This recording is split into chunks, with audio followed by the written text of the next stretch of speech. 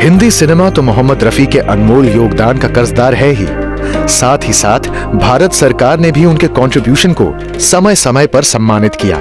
1948 में प्रधानमंत्री पंडित नेहरू ने भारत के पहले स्वतंत्रता दिवस पर रफी साहब को सिल्वर मेडल से सम्मानित किया और 1965 में उन्हें पद्मश्री की उपाधि दी गई।